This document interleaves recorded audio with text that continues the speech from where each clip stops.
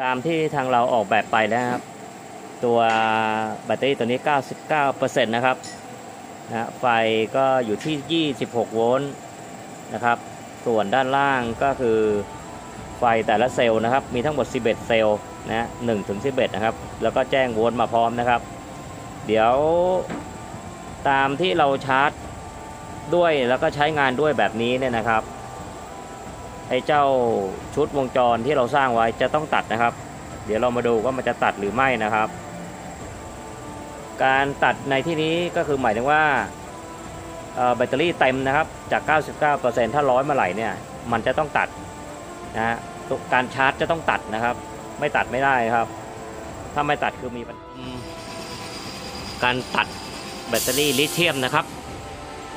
ตอนนี้ load มันก็คือเราใช้อินเวอร์เตอร์ 4,000 วัตต์ต่อกับหม้ออุ่นกับอ่าเขาเรียกหม้ออะไรอะหม้อตุ๋นหม้ออบครับ ขณะเดียวกันก็ชาร์จไปด้วยนะครับ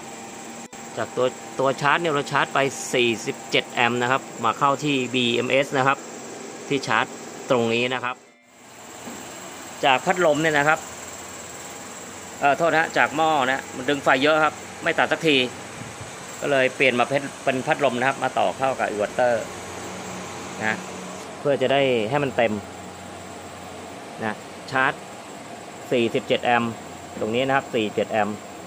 มันจะต้องเต็มแล้ว เพราะว่าใกล้เต็มแล้วครับ เพราะว่าพัดลมกินไฟนิดเดียว เราต้องให้เต็มก่อนนะครับ ต้องให้เจ้าตัวนู้นนะฮะ ตัว charger ตรงนู้นนะครับ ตัดอิวอเตอร์ตัดแล้วนะครับ จะเห็นว่าตัวชาร์จเหลือ 0 แอมป์แล้วครับ เป็นโวลต์ อย่างเดียวนี่แปลว่ามันไม่ชาร์จแล้วนะครับ